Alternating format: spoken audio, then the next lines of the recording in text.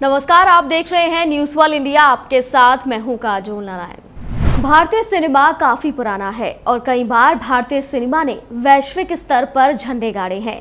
भारतीय सिनेमा के इतिहास में 30 मार्च की तारीख खास महत्व रखती है। 30 मार्च उन्नीस को भारतीय सिनेमा के युग पुरुष सत्यजीत रे को Oscar life time achievement honorary पुरस्कार से सम्मानित किया गया था। देश के सिनेमा के इतिहास में अपना नाम सुनहरे अक्षरों में लिखने वाले सत्यजीत रे को उन्नीस में कला के क्षेत्र में उनके अमूल्य योगदान के लिए भारत रत्न से सम्मानित भी किया गया। उन्नीस सौ चौरासी में उन्हें दादा साहब फाल्के पुरस्कार प्रदान किया गया। कुल सैंतीस फ़िल्में बनाने वाले सत्यजीत रे ने एक से बढ़कर एक फ़िल्म भारतीय सिनेमा को दी। और आज उनसे जुड़े कुछ खास बातें आपको बता रहे हैं, जो शायद ही आपने सुनी होगी। Lights camera action graphic designer से फिल्मकार बनने तक का सफ़र। आज भी कई फिल्मकार सत्यजीत रे से प्रभावित हैं। पहली फ़िल्म के लिए ही रख दिए पत्नी के गहने गिरवी।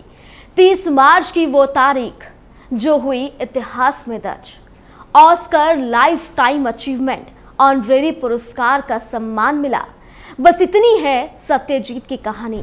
कहते हैं, अगर आप किसी चीज़ को मेहनत के साथ दिल दिमाग लगाकर करते हैं तो आपको कामयाब होने से कोई नहीं रोक सकता। सत्यजीत रे कौन थे? उनके जीवन के बारे में आपको आगे बताएँगे। वैसे तो इस बात में दो राय नहीं है कि ऑस्कर एक ऐसा अवार्ड है जिसे जीतना फिल्मी दुनिया से जुड़े लोगों के लिए किसी ख्वाब से कम नहीं होता।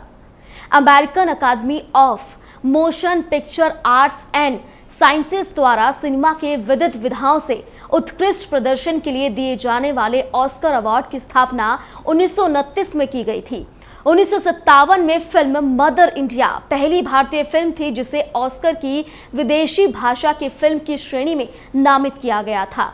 पाथेर पांचाली, अपराजितो, चारुलता और द वर्ल्ड ऑफ़ शतरंज के खिलाड़ी जैसे शानदार फ़िल्में बनाने वाले फिल्मकार सत्यजीत रे ने उनकी फ़िल्मों के माध्यम से सिर्फ़ फ़िल्में ना होकर अपने आप में एक समाज का निर्माण करती हुई दिखाई दी। कहा जा सकता है कि उनकी बंगाली फ़िल्म पांथेरा पांचाली के बनने की कहानी पर ही मौजूदा समय में कई फ़िल्मों का निर्माण हो सकता है। 2 मई 1921 में बंगाल में जन्मे सत्यजीत रे। फिल्मकार से पहले चित्रकार, कहानीकार ग्राफिक डिज़ाइनर होने के साथ फ़िल्म आलोचक भी थे। कहना गलत नहीं होगा कि भारत में आज जितने भी फिल्मकार संवेदनशील सिनेमा बनाने की कोशिश में हैं, वे कहीं ना कहीं सत्यजीत रे से प्रभावित ज़रूर हैं। अर्थशास्त्र की पढ़ाई करने के बाद 1943 में सत्यजीत रे कलकत्ता वापस चले गए। वहाँ जाकर उन्होंने ग्राफिक डिज़ाइनिंग का काम किया। ग्राफिक डिज़ाइनिंग के क्षेत्र में खुद को स्थापित करने के बाद सत्यजीत रे की जब मुलाकात फ्रांस के निर्देशक जया रेनुआ से हुई तो उनके जीवन में बड़ा बदलाव आया। कहा जाता है कि फ्रांस के निर्देशक से मुलाकात मुलाकात के बाद ही पहली बार उनके जीवन में फिल्मकार बनने की लड़क वहीं से जगी थी।